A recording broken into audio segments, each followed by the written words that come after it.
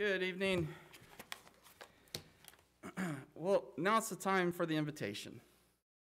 It's a time toward the end of our worship, extended for anyone that may not already be a Christian, wanting to approach our Heavenly Father and tell Him of their desire to be with Him. A first step in the journey towards a relationship with Christ, our Savior, and a path to heaven. It is also an opportunity for fellow Christians that have a need to approach God publicly and ask for the prayers of the congregation. But in either case, this is a very personal action that can be quite intimidating and not easy for people to do. Tonight, I'd like to share three biblical examples of some very brave steps forward that people took, people that we see as examples in the Bible, that had some of these feelings that are not so uncommon, but definitely worth the action on their part. So, first off, I'd like to just think of Noah. And in Genesis chapter 6, God instructed Noah how to build the ark.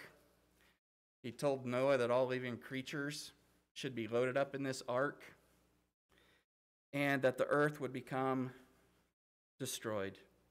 It would destroy the wickedness on earth with a flood. And he explained that to Noah. Could you imagine hearing that? What's a flood? What's an ark? What are these things? But in Genesis 22, Genesis 6, verse 22, it says, Thus did Noah. According to all that God commanded him, so did he. In this case, Noah was asked to do something that was completely f- a foreign act uh, to them, never considered before, but he took that step forward. In another case, Abraham, Genesis 22. God instructs Abraham to offer his only and loved son Isaac as a burnt offering. Could you imagine that?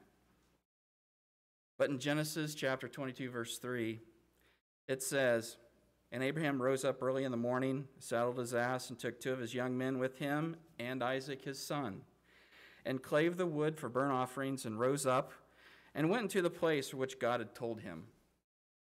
Now, this was three days.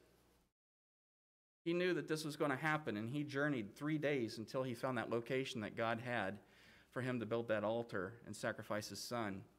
Could you imagine every day waking up and stepping forward? to go do that. The third case is Moses, Exodus chapter 4. Moses was talking to God at the burning bush, and Moses was very reluctant to go back to Egypt and approach Pharaoh to free God's people and lead them out of Egypt. He, I dare say, argued with God, but definitely there was a conversation. There was some lack of confidence in Moses. He said that he couldn't speak well. He said that there were things with him which he didn't feel confident in going. But in Exodus 4, verse 20, and Moses took his wife and his sons and set up upon their ass, and he returned to the land of Egypt. And Moses took the rod of God in his hand. In that case, Moses was asked to do something that he had little to no confidence in himself, but realized God was with him and would provide support. And he took that step forward. So, those are three examples of stepping forward. It's not an uncommon thing to lack confidence. It's not an uncommon thing to, to feel a little worried or concerned about what might happen. But in those cases, and each time they stepped forward. My hope is these examples will give you something and some encouragement if you are someone that is troubled or thinking of taking that step to God. In Acts 2, verses 37 38, and then verse 41, we read about the apostle Peter and the response of the crowd listening to that sermon that day. I'll read that here quickly.